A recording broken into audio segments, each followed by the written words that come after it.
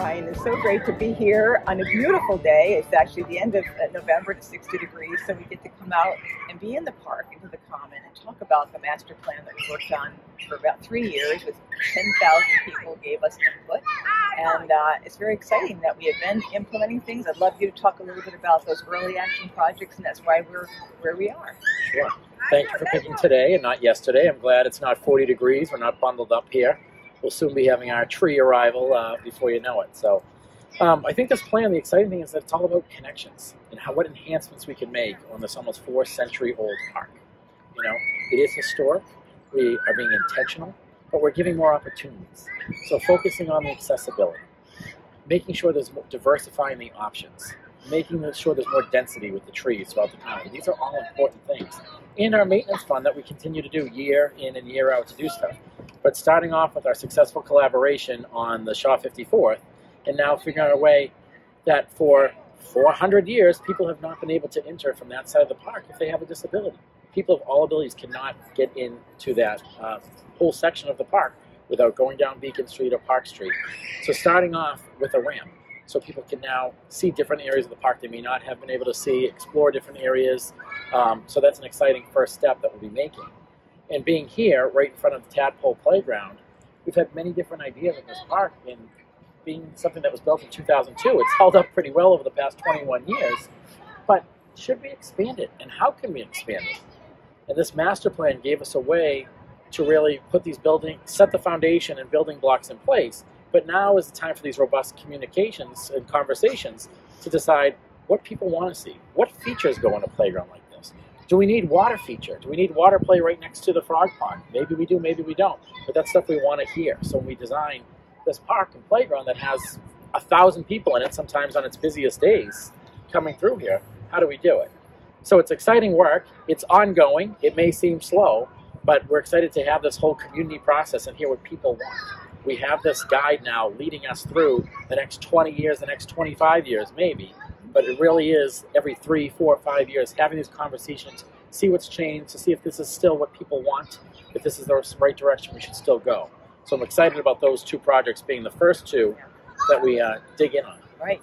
And another one that we did, which is a pilot project, which is also exciting because the Boylston uh, Tremont zone, that entrance has been underperforming, as we like to say. It's been really a no man's, no, no person's land. So putting the beer garden there, a seasonal beer garden, 18 to 20,000 people in one coming to enjoy that place.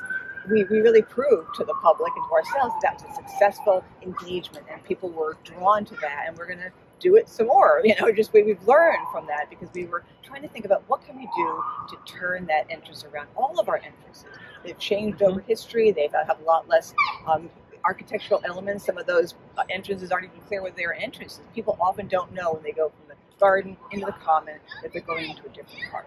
So that's one of the major entrances where 40,000 people a day walk just past here, the mayor's walk, and that's one of our high priority projects. To improve that walk, to make it a wonderful event for people to be moving along there, to improve something that gets beat to, to death by, by a lot of people loving this park too much in some ways. And, and that's what we're going to work on the, the next pieces will be those kinds of high priority projects. Another example of a high priority project is the athletic fields. How can we make those multi-use?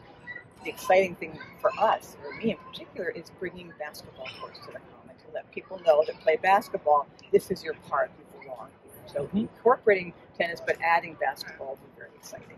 And diversifying that whole sports collection over there because pickleball is big right now five years from now, is pickleball still going to be the thing people want, or will that be taking over tennis courts or just overlaid on the tennis courts? And we're seeing soccer growth throughout the city like crazy. That is the one sport that we have waiting list for our permitting system. You know, on these multi-purpose fields, having the large enough space. A lot of our parks throughout the city may be pocket parks, but don't have that one acre of space needed to really have a, a field that you can play soccer on.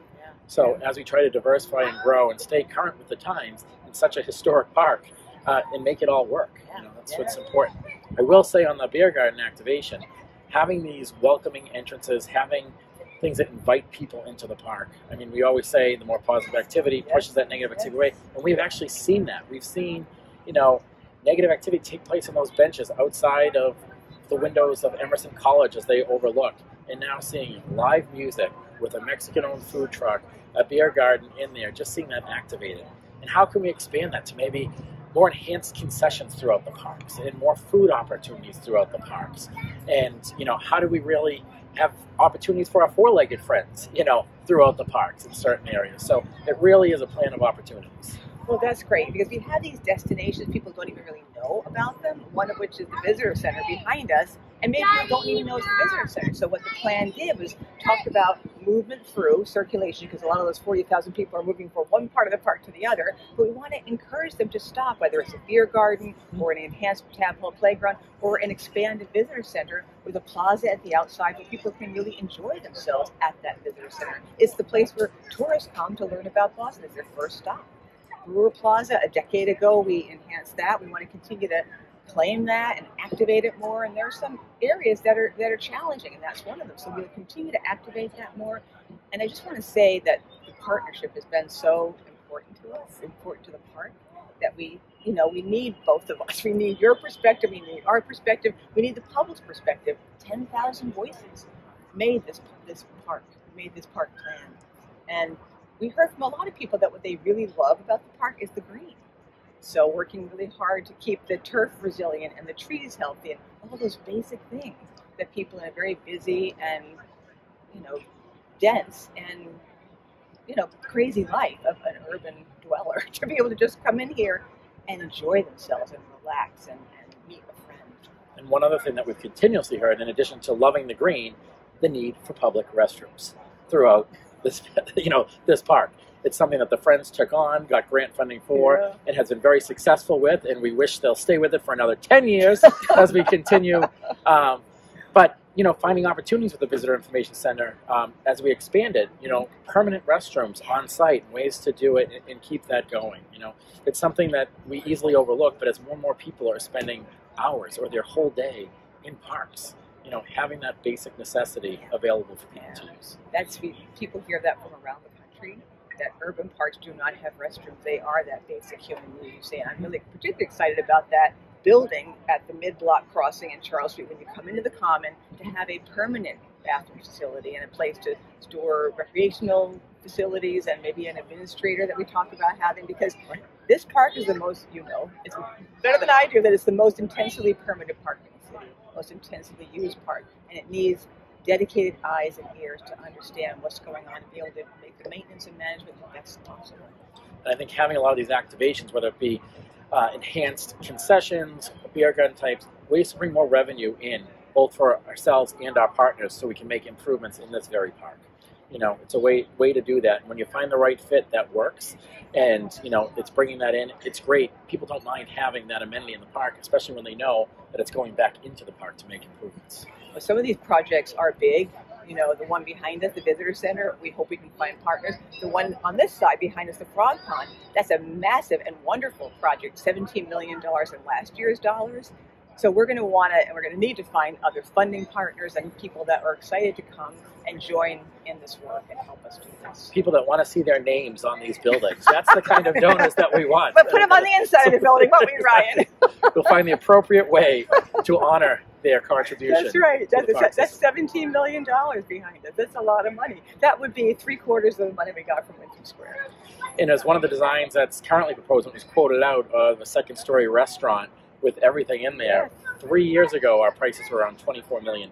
So Yeah, if we're yeah. in today's, Oh, no. by the time we get to these projects, we're probably looking at a $30 million Yeah. all in project with everything Right. around the Frog Pond Pavilion uh, and the actual Frog Pond itself. It will be transformational, and it's worth shooting for the stars on that one. So. So, thank you so much for coming and spending a little time with me talking about this. We're very excited. We're going to keep the public posted as we move forward. And as everyone needs to understand with public work, it starts and stops, and there needs to be you know time where we get feedback, and then there's time when you go out to bid, and it just change designs if we Yeah, need to, all the yeah. work. But the core is that they do happen with robust community conversations.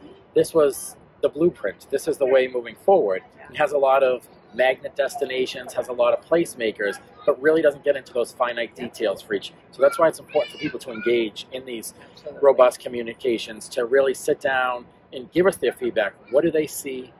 The people that use this park are our eyes and ears. We may be in it several times a week, but they are in it every day, whether they're walking their dog or walking to work or using the park for respite, relaxation, whatever it may be. this is what we need to hear because this is how we're really going to make the future of this 400 year old park. That's why we call them stakeholders because they have a real stake in this place. It's the People's Park. We're working for them. So, Thank you. Thank you very Great much. to have you. you too.